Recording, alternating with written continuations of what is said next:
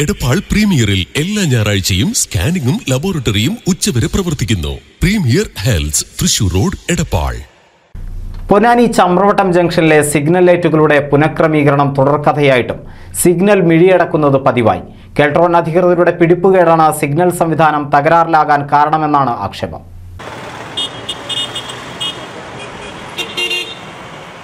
പൊന്നാനി ചമ്രവട്ടം ജംഗ്ഷനിലെ സിഗ്നൽ ലൈറ്റുകൾ പേരിന് മാത്രമായി മാറി.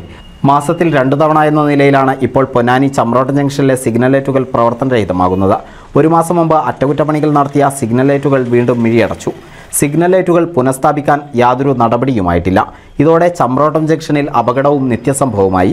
പൊന്നാനി കുറ്റിപ്പുറം ദേശീയപാതയിലെ പ്രധാന ജംഗ്ഷനായ ചമ്രോട്ടം ജംഗ്ഷനിലെ സിഗ്നൽ ലൈറ്റുകളാണ് നിശ്ചലമായത്. പൊന്നാനി കുറ്റിപ്പുറം എടപ്പാൾ പൊന്നാനി തിരൂർ പൊന്നാനി റോഡുകൾ സംഗമിക്കുന്ന പ്രധാന ജംഗ്ഷനാണ് ചമ്രോട്ടം ജംഗ്ഷൻ.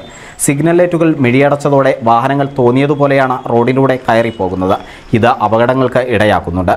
കുറ്റിപ്പുറം പുതുപൊന്നാനി ദേശീയപാത യാഥാർത്ഥ്യമായതോടെയാണ് പൊന്നാനി ചമ്രോട്ട ജംഗ്ഷനിൽ സിഗ്നൽ ലൈറ്റുകൾ സ്ഥാപിച്ചത്. ചില സമയങ്ങളിൽ തകരാറുകൾ ഉണ്ടാകാറുണ്ടെങ്കിലും ഇത് പെട്ടെന്ന് തന്നെ പരിഹരിക്കുകയും ചെയ്തിരുന്നു.